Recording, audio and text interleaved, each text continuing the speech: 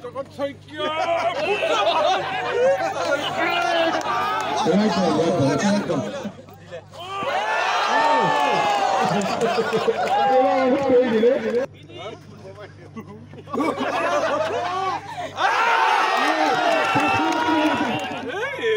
아!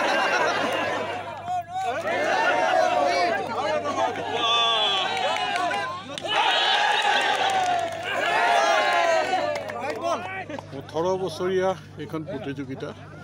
ইয়াত অংশগ্ৰহণ কৰিবলৈ পাই মই নিজে ধন্য মানিছোঁ যে সম্পূৰ্ণ গাঁৱলীয়া এই যিটো প্ৰতিযোগিতা উন্নত মানদণ্ডৰ পাতিছে তেওঁলোক ধন্যবাদৰ পাত্ৰ।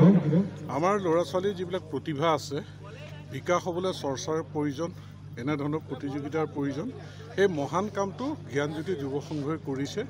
মই আশা কৰিছোঁ আমাৰ ল'ৰাৰ প্ৰতিভা বিকাশ হৈ ইয়াত প্ৰতিষ্ঠিত হ'বলৈ সক্ষম হ'ব যে মৰণাগুৰি জ্ঞানজ্যোতি ক্লাবে এইদৰে আজি বহু বছৰ আগৰ পৰা এইদৰে খেল অনুষ্ঠিত কৰি আহিছে। প্ৰথম পৰ্যায়ত ইয়াত নৰাৰে আৱৰি থকা এখন পথাৰ আছিলে। লোকৰ পতা লোকৰ পতাত থকা এখন পথাৰ আছিলে।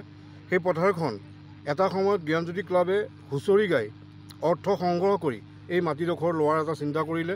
তাৰ পিছতেই সন্মানীয় চতিয়া সমষ্টিৰ বিধায়কগৰাকীয়ে এই যুৱকসকলৰ মাজত আহি যি যুৱকসকলৰ যি পৰিশ্ৰম এই পৰিশ্ৰম দেখি তেখেত সন্তুষ্ট হৈ এই যি আমাৰ খেলপথাৰ এই খেলপথাৰখন তেখেতে পূৰ্ণাংগ কৰি দিয়াৰ দায়িত্ব ল'লে আৰু বৰ্তমান সময়লৈকে তেখেতে আমাৰ এই খেলপথাৰখন তেখেতে যি আগবাঢ়িবলগীয়া যিখিনি কাম তেওঁ সম্পূৰ্ণভাৱে আজি তাৰিখলৈকে সহযোগিতা আগবঢ়াই কৰি আহিছে আৰু খুব কম দিনৰ ভিতৰত আমাৰ এই খেলপথাৰখন এখন মিনি ষ্টেডিয়ামলৈ তেখেতে পৰিৱৰ্তন কৰিম বুলি আমাক কথা দিছে।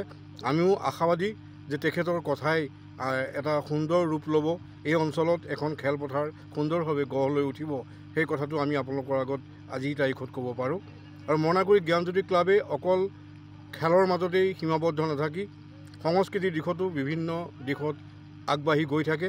অসমৰ বিভিন্ন প্ৰান্তত মৰণাগুৰি জ্ঞানজ্যোতি ক্লাবে হৰি নামৰ জৰিয়তে এটা চিনাকি নাম হিচাপে জ্ঞানজ্যোতি ক্লাব হ'ব পাৰিছে।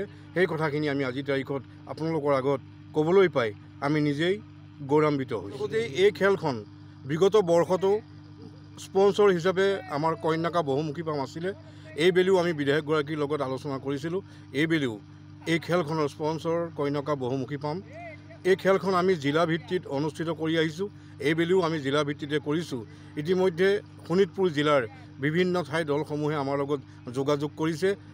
আমাৰ কাৰ্যালয়ৰ লগত যোগাযোগ কৰি তেখেতসকলে প্ৰপত্ৰও গ্ৰহণ কৰিছে।